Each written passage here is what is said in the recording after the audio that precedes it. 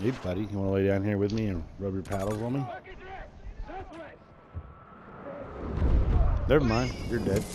But Blueberry got me. Dude, that thing literally hit only Mike. Seriously. Oh. oh. Stay away. There's they got grenade launchers.